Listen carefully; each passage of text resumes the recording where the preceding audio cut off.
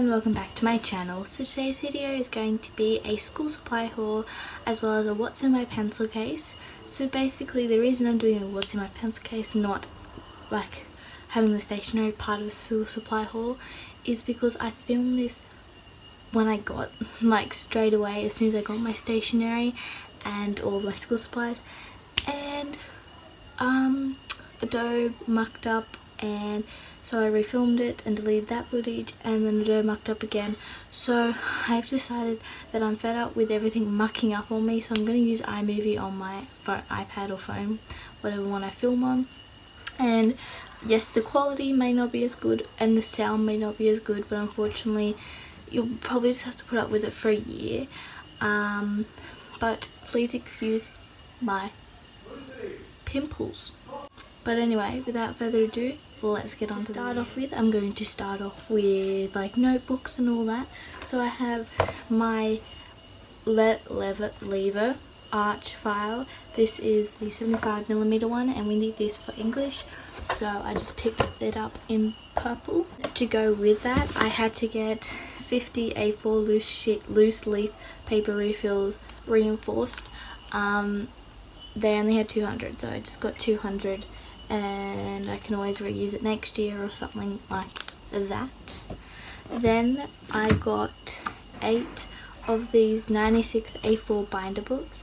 Um, that is basically one for each subject obviously and that's the style they like it in, they like it binder style so that's what I picked up and then I could not for the life of me find any um, mass grid books. So normally a mass grid book doesn't matter if it's binded or not. It just needs to be a large one. I couldn't find them apps anywhere. Obviously I think they'd be at Officeworks but the off the, closest Officeworks to us is probably like 20 minutes away, you know, it's like eh. But anyway, so I went to Kmart today with my nan when we were just wandering, like we went shopping today and I picked, we went to Kmart and I found one. It was the only grid book I found besides Target, but I didn't pick that one up. Um, but yeah, so I found this one here and I was like, right, I'll just get two of these and run out of one. I'll just use the other. So that's what I did.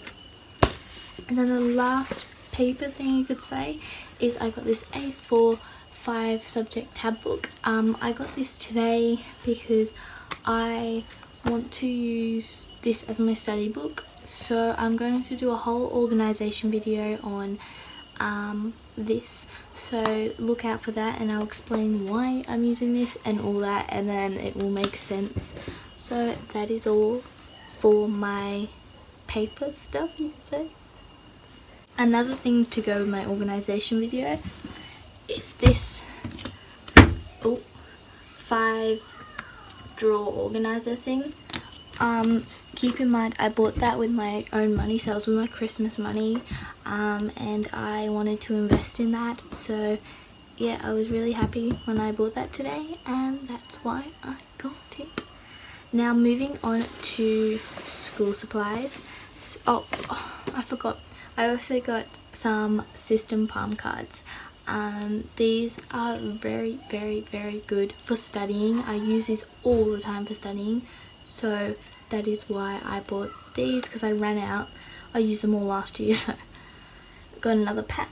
Here is my pencil case. My pencil case is from Target. I got it for $10 and funny fact it is not a pencil case. It is a makeup bag but I really liked it and I thought hmm, no know it's a makeup bag. And I just thought yeah I'll use it. So starting off with I oh yeah disclaimer a lot of this stuff is from last year because I thought if I'm not haven't used it or finished it I might as well reuse it. So I got these highlighters. These are the Stabilo 8 pack of highlighters I think. And I have I got them at, in the middle of the year because English and some other subjects they used a lot of colours and I didn't have a lot of colours so I um, went out to office work and I picked up these and I was really super duper happy when I got them because it was the best decision I've ever made in my life.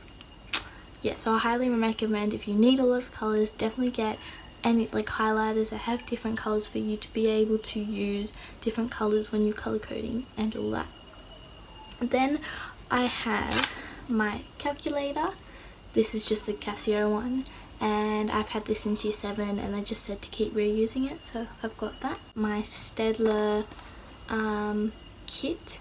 Now yes you're probably wondering looks a bit beaten up. Um, this one I got in year 7 and then it got packed in a moving box and so I had to get a new one because we stayed at Nan and Pop's longer than expected. So I had to get a new one before school started. And then I just as soon as I unpacked it I switched them over so I have the new one at home when this one finally dies. But I don't think it will. It's doing pretty well. Then I just have for my rubbers you could say I just have this Smiggle one which I've had for years but I just keep it at home and then this little one from last year. So I thought if this rubs if this rubs out if this runs out I just have this one. Or if this gets too small for me I just have this one. You know what I mean? And then I have two glue sticks. Oh glue a glue tape and glue stick. Um, I'm reusing the one from last year because I used a whole one last year and then towards the end of the year I had to pick up another one.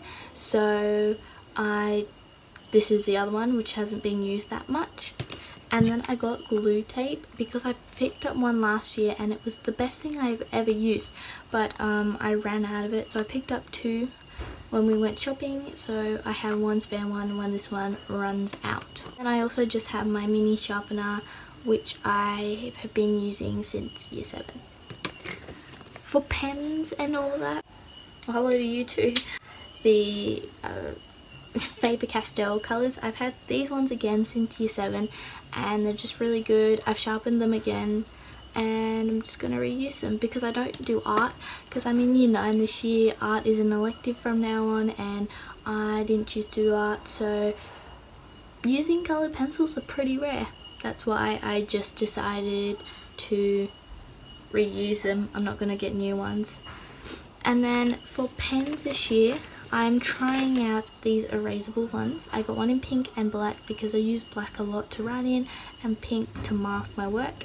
And I want to try these erasable ones because I use a lot and a lot of whiteout and I thought if I could save on buying whiteout I might try and use these pens. So I got these two.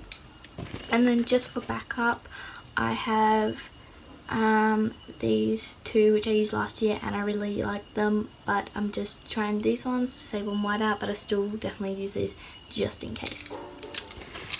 Then I have two HB pencils. We always seem to have to get new ones each year. They either run out or we lose them. So I picked up a pack of those and I'm using those this year. And then last but not least I got a foldable ruler. So my pencil case last year was quite big um, and I liked it because everything fitted in it and I had no problems with it. But towards the end of the year, the, my ruler broke because I had to take it out of my diary, which is what we get given each year, and the cover ripped because of the diary. So I decided to instead um, go ahead and purchase a foldable one so I don't have to keep buying big pencil cases to fit it in and I can just fold it up. And I've already used this to do my bullet journaling and it was really really handy so if you're considering buying a foldable ruler, I highly, highly, highly, highly recommend it. So that's all for my pencil case video as well as school supplies video. I hope you all enjoyed it. If you did, please give it a big thumbs up, subscribe if you're new, and I'll see you all in my next video. Bye guys!